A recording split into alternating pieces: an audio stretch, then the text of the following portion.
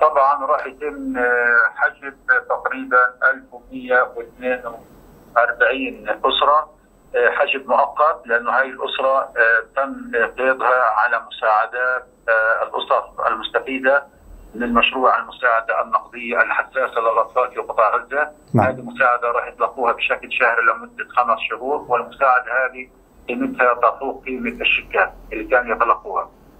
مع انتهاء المشروع راح يتم إعادة قيدهم على برنامج التحويلات النقدية وسيتلقوا المساعدة النقدية أسوة بالمنتفعين الآخرين.